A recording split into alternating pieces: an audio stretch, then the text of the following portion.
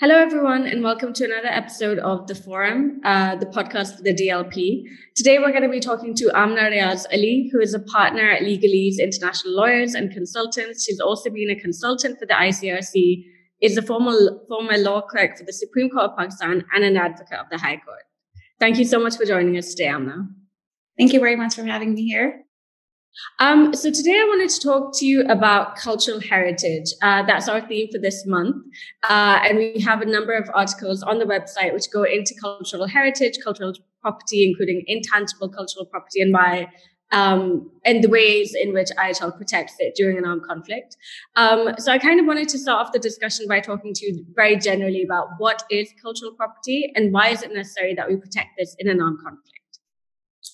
So, uh, cultural property, if we look at the preamble of the 1954 Hague Convention, it really captures the essence of uh, cultural property and calls it any cultural property, uh, any damage to any property that has an identity of people. And it defines peoples uh, as very, very uh, broadly every ethnic community, every racial community. Any damage would mean it is a damage to humanity cultural property, if we look at the word uh, property, that would not really encapsulate the entire idea behind this protection because uh, we have the 1972 convention on, uh, which is the World Heritage Convention that refers to uh, cultural heritage as well.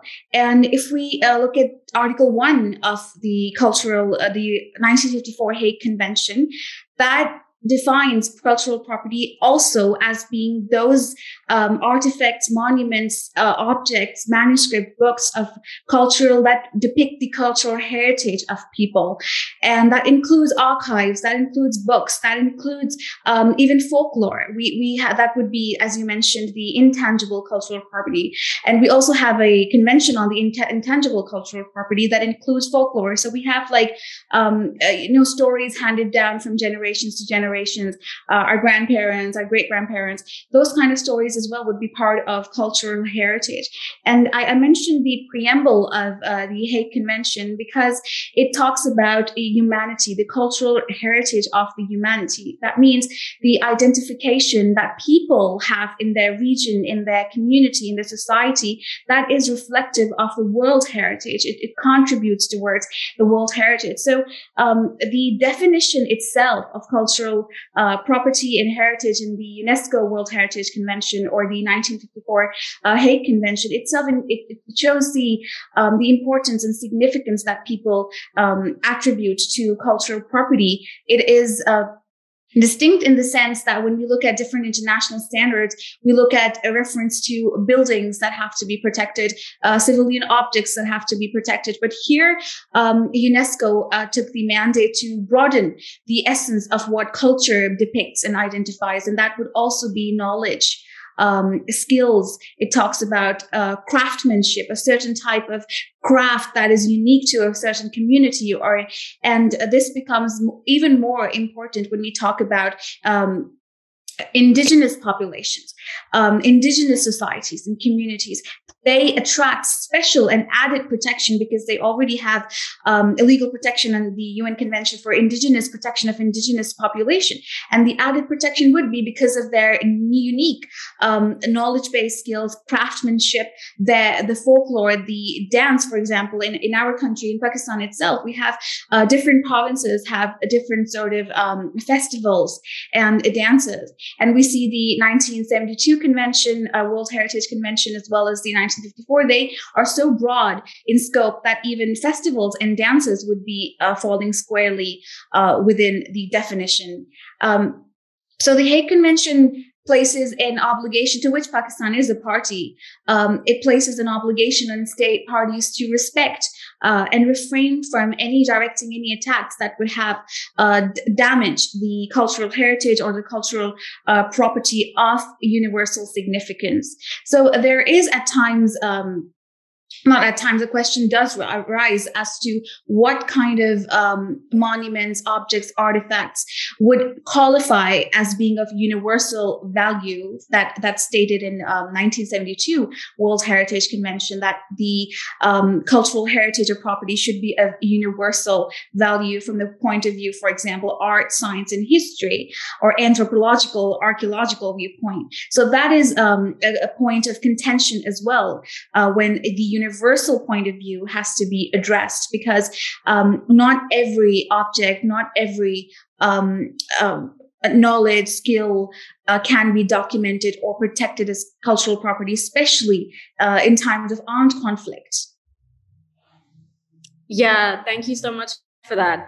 I, I also feel like it's uh, it's quite interesting to look at cultural property in that sense because I think my first introduction to it was watching all of these films based on World War II era kind of art restitution where they'd lost like a very, very prized possession in, in the form of a painting and like they're trying to get it back.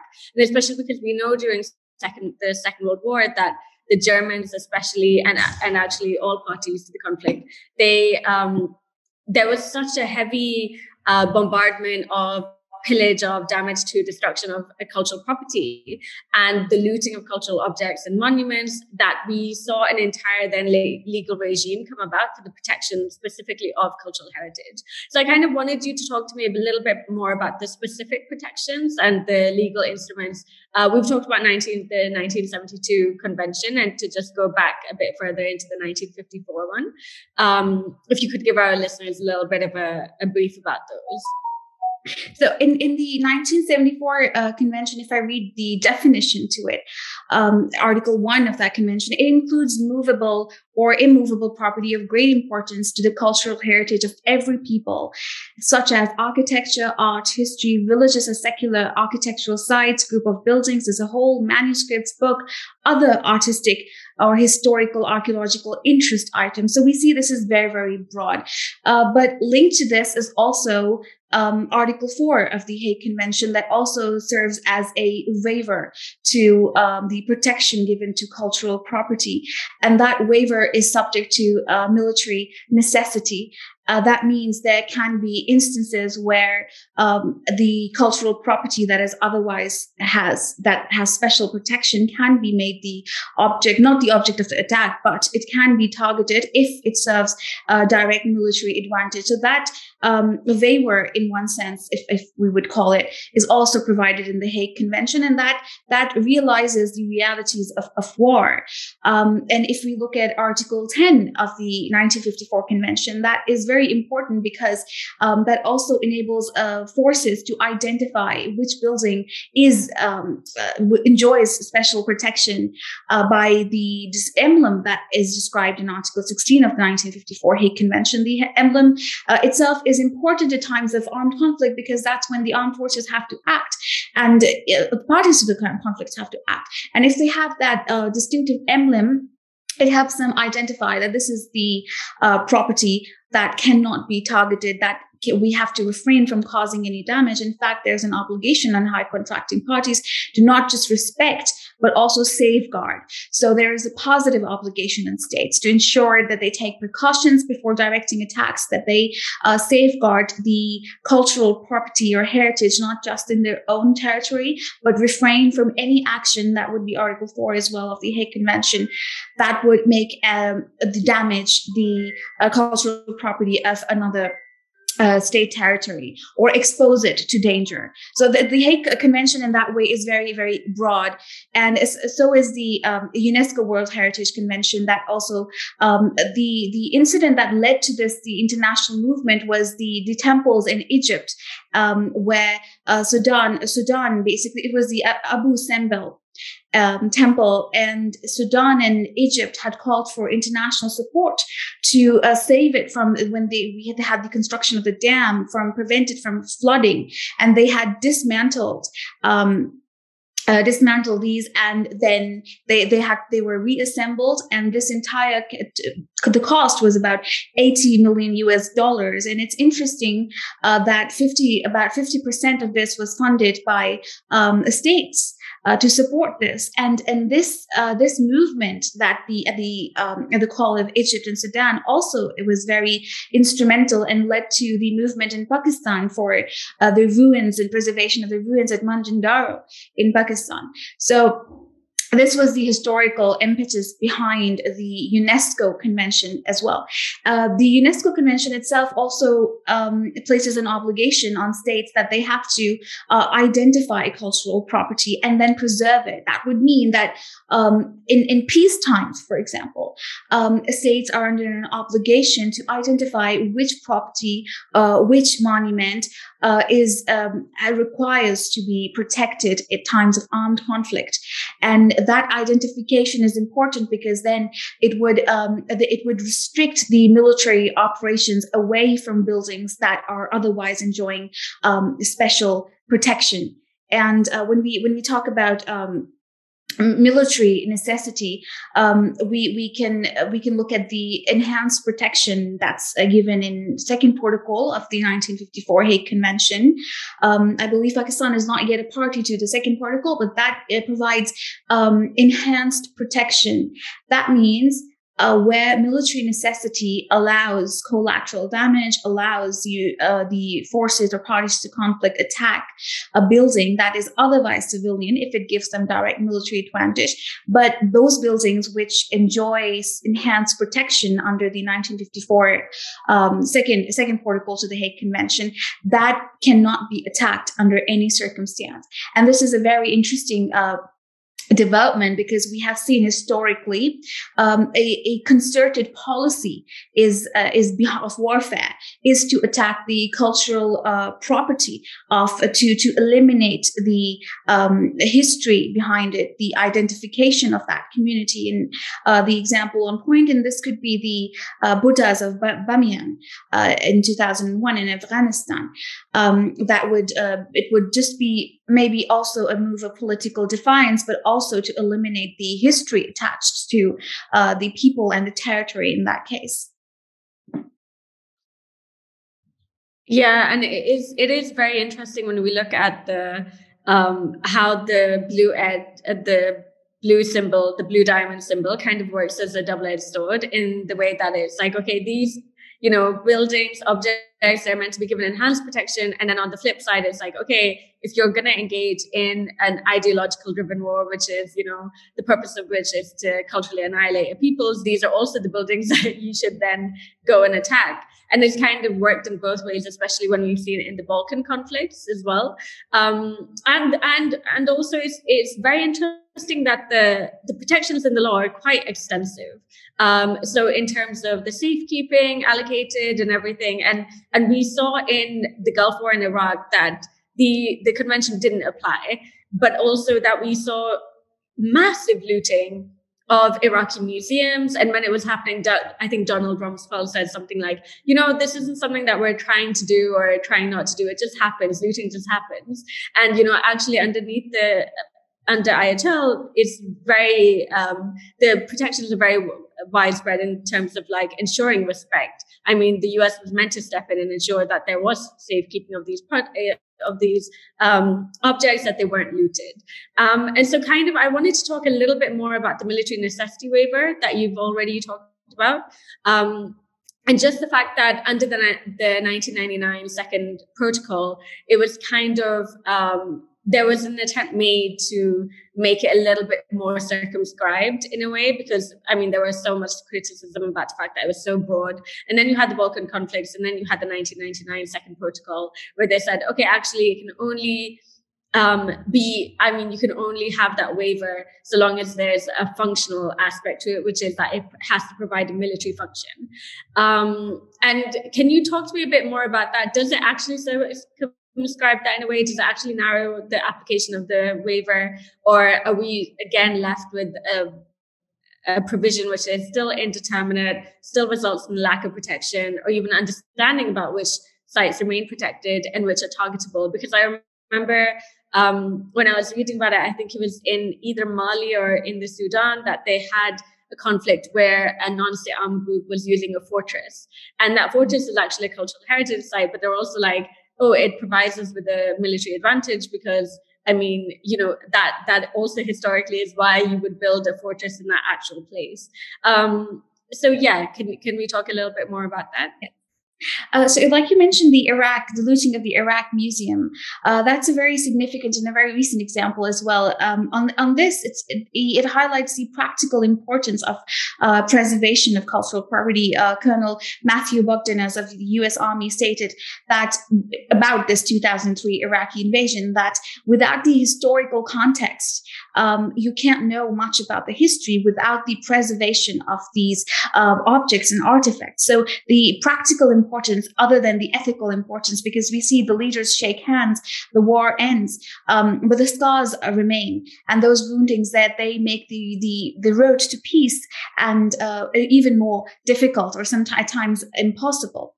Uh, but the military, uh, the necessity that you talk about, military advantage, that is also a principle of customary international law, and it's, it's important to see that it is it is also subject to the principle of proportionality. So even if uh, deliberate and intentional uh, usage of property um, by parties to the conflict to transform it into maybe an object of attack or to get uh, protection, um, that would still be subject to the principle of proportionality. And uh, usually, when we talk about um, military necessity, it would broadly fall under two categories. Uh, that would be collateral damage. And the second one would be intentionally directing attacks. But we, when, when, when we talk about um, collateral damage, for example, uh, the US um, invasion in 2003, by one account, it would be considered as a collateral damage, but um, that would happen when that building, cultural cultural significance, is within the use or location, or usually it happens when it is in close proximity to um, a an area that is of military significance that would give direct military advantage to the other party. And that was the example of the um, the Iraqi museum.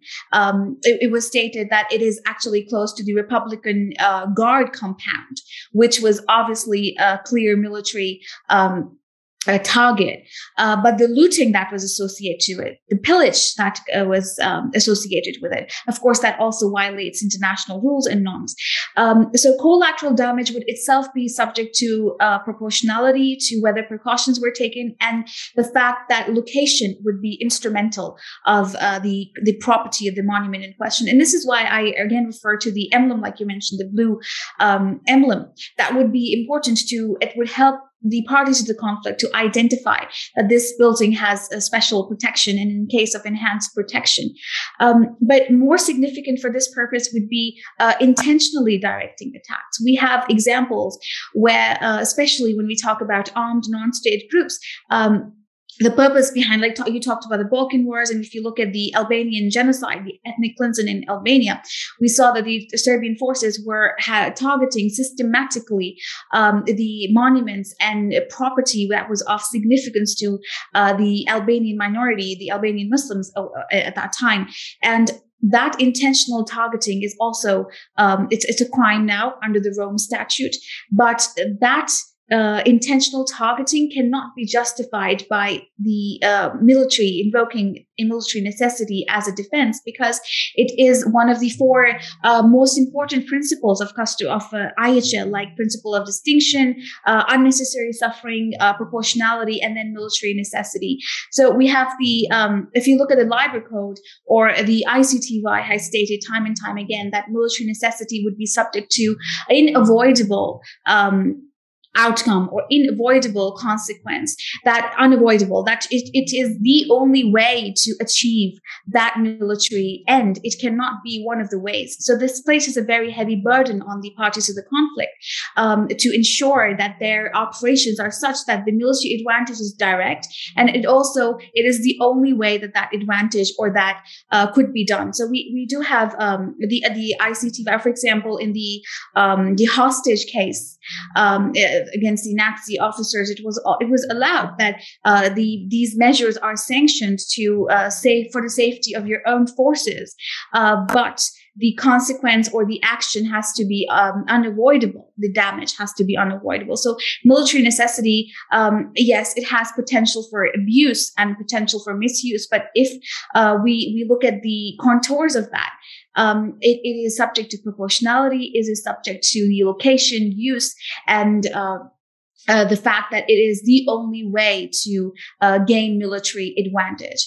So um, it, it's it's not it. For example, we do we also have examples where states have taken um, action to avoid targeting buildings of cultural property. For example, in the first Gulf War, uh, the USA had made um, a targeted list of uh, properties, about two to three thousand properties in the first Gulf War, which were uh, could not be damaged or attacked. Uh, but of course, this remains the exception rather than the rule um, to consciously uh, avoid attacking cultural property. And, and the problem becomes even more apparent when we talk about armed non-state groups. And that is one of the challenges to, um, for, to see compliance of armed uh, non-state groups, especially when it's a war on based on uh, ideology. Um, yeah, definitely. And I think, um, when I look at the military necessity waiver, it's so interesting that you also bring up the hostages case in um, from Nuremberg, that that it does at the same time feel like it's very hard to say what is and what isn't unavoidable. Uh, but that the law tries to tries to strike that balance in the sense of if you are going to damage or destroy these sites, that damage or destruction is entirely irreparable on um, buildings and property that you're not really you're not going to be able to you know get back ever again. Um, and and it's quite interesting to talk about it in the context of the first Gulf War and how much the U.S. T- tried to protect these cultural sites, and then look at it in terms of the 2003 War, uh, where they were using a Babylon archaeological site as a helipad, uh, as like a military base. And um, then you had all of these archaeologists come in and be like, you know, these sands are thousands of years old. They tell us so much about how people lived at the time, and that's all gone now because you use this place as a military base. Um, and it is so much more interesting also when we look at it in the context of non-state actors. And I kind of want to go into that in a little bit, but first I want to talk a little bit more about accountability. I think my first kind of interaction with um, anything related to cultural heritage was reading um, Fatou Bensouda, the prosecutor of the ICC's um, written proceedings in the Mali judgment. So where she talks about Timbuktu, where uh, you know Al Mahdi was the first person who was ever prosecuted at the ICC for the destruction of heritage in Mali in 2016. And it was so beautifully written. It was just such a beautifully written piece that I, w- I was I was literally so shocked that it was so nice to read about how important cultural heritage is, why these archaeological sites in Timbuktu, why the manuscripts that were destroyed were so important, and why we should all feel like you know this is a crime again, like an international crime against peoples. Um, and it was such a landmark judgment at the time, but still we're not seeing many prosecutions for these crimes in domestic courts. I mean, we saw them in the ICTY, as you referred to. We saw a little bit in Nuremberg, and then you had the ICC um, have this landmark judgment in 2016.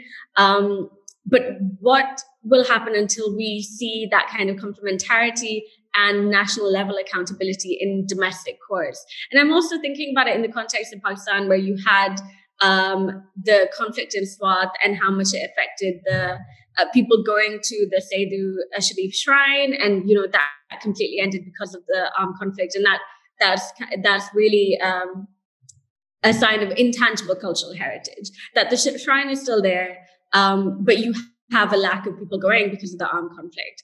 Um, so, where do we stand on domestic accountability? How can we promote this? How can we enhance accountability and the complementarity of domestic systems?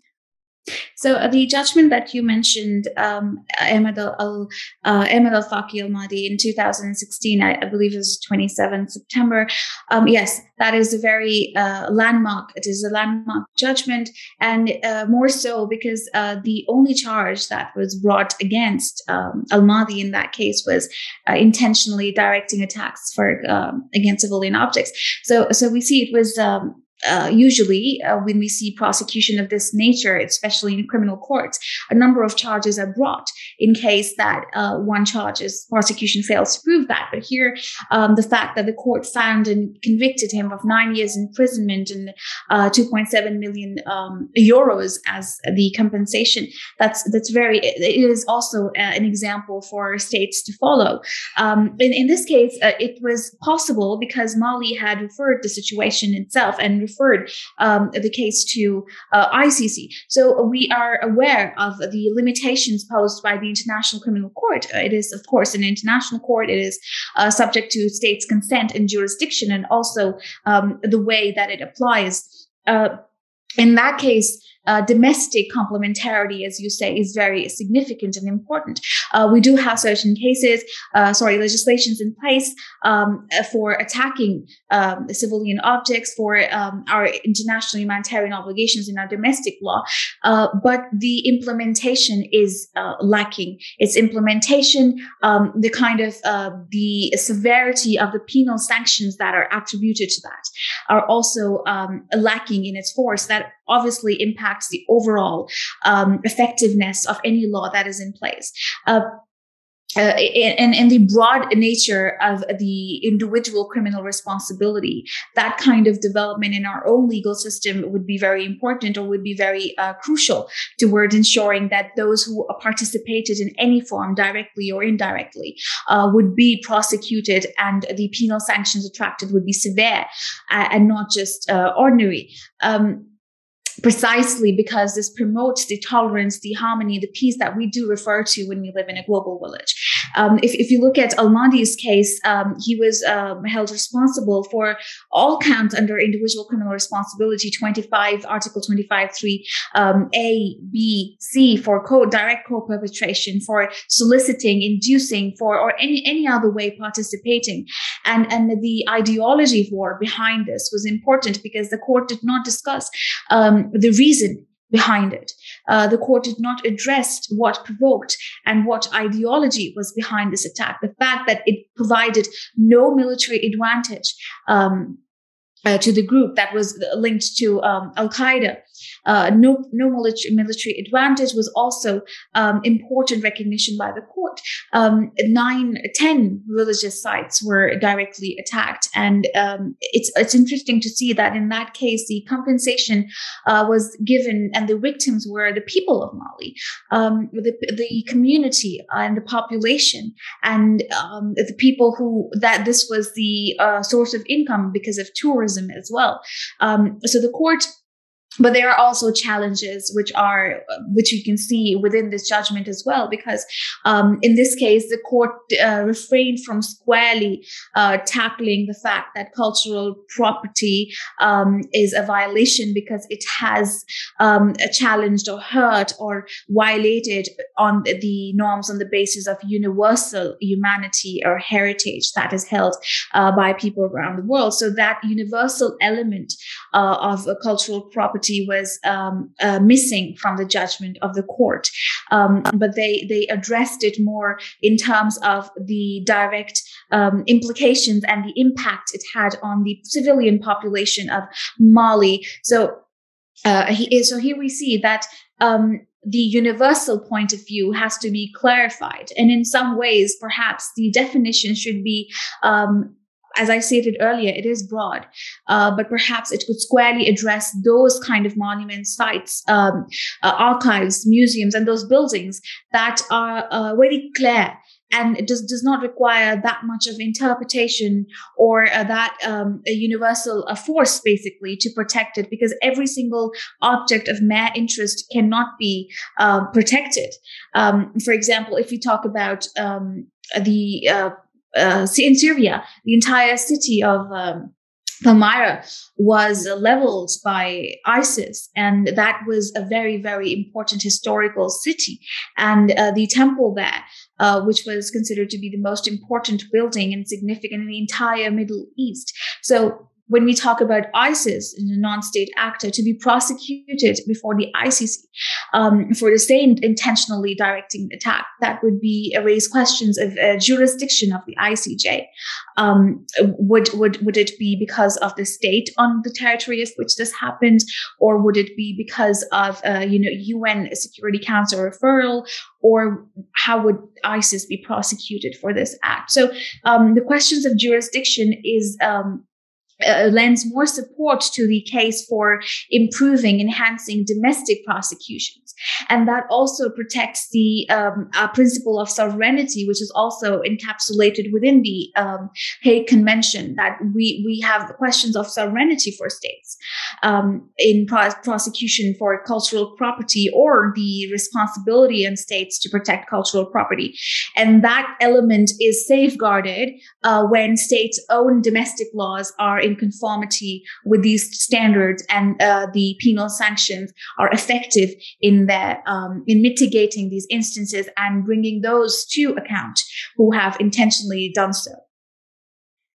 Yeah, um, it's so interesting. I did not actually know that it was 2.7 million euros worth of costs um, in that judgment. That's really interesting. And and to talk more about then the big issue now in the context of you know international law relating to cultural heritage and armed conflicts is that of non-state actors and you've talked about isis we've talked about palmyra and also um, and i kind of want to bring in two points here in in the sense of awareness i was reading about this study where a lot of non-state actors were like, actually, we really do want to protect natural uh, cultural heritage sites. So there are especially I think in Sudan, the SPLM, and um, in Syria you have the Rojava um, Antiquities Authority, which has said we're actually going to ensure that during an armed conflict, cultural heritage is protected. And under UNESCO, UNESCO can provide technical assistance under the Hague Convention for states, but it doesn't provide the same for non-state actors. And so you, we've had non-state actors even in Mali, even in um, the, the Kurdish Rojava Antiquities Authority, reach out to UNESCO and receiving no reply um, to their letters about how do we go about protecting um, this cultural heritage, this cultural property, and about how that that's such a I, I think for me that's such a missed opportunity to engage with non-state actors and be like, no, actually we're going to we're going to help you, especially with the rise of NIACs being so much more prevalent now compared to IACs. And the second point I kind of want to touch on with regard to non-state actors is the whole idea of um, safe havens. Um, it was really interesting to me to know that in Afghanistan, uh, during the armed conflict, half of the Afghan Afghanistan museum was shipped to Paris. Some of it was shipped to um, Switzerland, and they were making this, these like Afghan museums in exile. And um, when this was talked about, I think in the Security Council, the representative for Egypt was like, "We have to be very, very careful that this is actually returned to the countries once armed conflict is over." Now that we're seeing very prolonged, very protracted armed conflicts, the idea is if I'm going to go and see, you know, Afghanistan's cultural heritage, cultural history, am I going to go and see it in a in a museum in Paris or Switzerland, or will I ever be able to go and see it in in the actual territory? And and I think it is a huge issue, even when we're talking about you know, post Second World War restitution, which is where I kind of got into the whole idea of cultural property and how this gets returned, and the fact that um, even even with the Buddha statues in Bamiyan, we we see that kind of elevated concern um, for cultural pro- property and heritage, which are attacked on the basis of non-state actors for ideological reasons. And I kind of think maybe I'm being very, very cynical in seeing this as a route for the West to reclaim our cultural property in a way.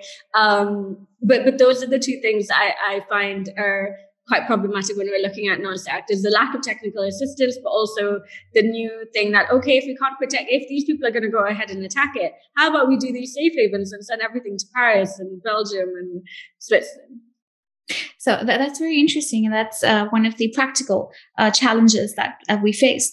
Um, uh, we have a convention of 1970 Convention against the illicit transport or trade of uh, cultural property and artifacts, and uh, the restitution for 2003 invasion. The restitution occurred for some of the artifacts to Iraq in 2000, not until 2006. So first, yes, it is dependent on the conscious good faith of the states, and that's how international rule of law is upheld, especially when you look at the shift to a more uh, communal oriented uh, standards of international law as opposed to individualistic um, trends in the history. So the good faith, a duty of state would be at paramount to uphold these obligations and act in good faith.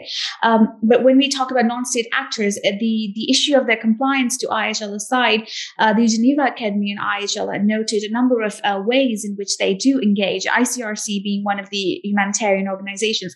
Um, these organizations are opening important doors for dialogue, not just to um, de- suppress the hostilities and to bring varying parties to the table, but also to raise this awareness amongst non-state actors. Because if um, the the, uh, the forces, de jure forces of the state, are banned by law, legitimate question to their end is they deliberately violate the law.